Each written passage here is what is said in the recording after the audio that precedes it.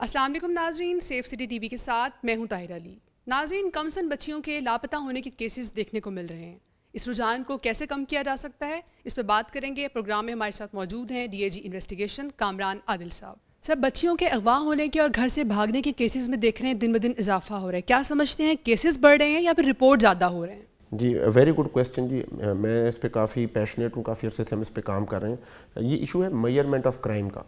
और इस पर पुलिस में काफ़ी री थिंकिंग हुई है। लीडरशिप ने इस पर बहुत सोचा है कि इसको कैसे किया जाए। आपने दो चीज़ें बोली।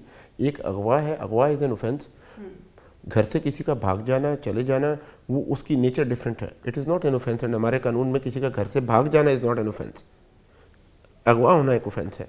तो इसको आमतौर पर मिक्स कर दिया जाता है। जब आप डिस्कोर्स सुनती हैं इस पर या डिबेट सुनती हैं तो उसमें दोनों चीज़ों को मिला दिया जाता है।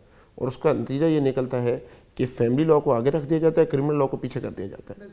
अगर एक आदमी ने एक बच्ची को अगवा किया है और उसके बाद उससे शादी की है तो पहला एक्ट अगवा करने का है। तो हम उसको छोड़ देते हैं।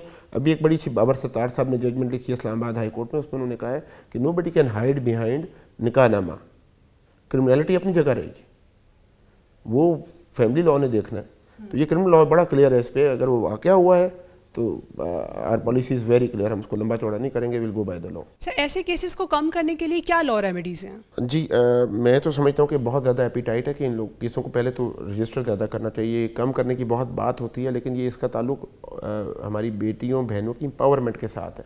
ये बात मैं हमेशा मीडिया के दोस्तों से कहता हूँ कि मेहरबानी करके आ, आ, वो क्राइम का जब एनालिसिस करते हैं तो रॉ एनालिसिस करते हैं। Registration of an offence is a first step towards the protection और हम बाक़ी चाहते हैं कि काम हो जेनवन एफ़ आई आर हो और हम उन पर अच्छा काम प्रोसिक्यूशन के साथ मिलकर करें दैट इज़ आर टेस्ट और जिस बच्ची के साथ ज़्यादा हुई है, उसको हम, उसका हक दिलवाएँ. This is the way we look at it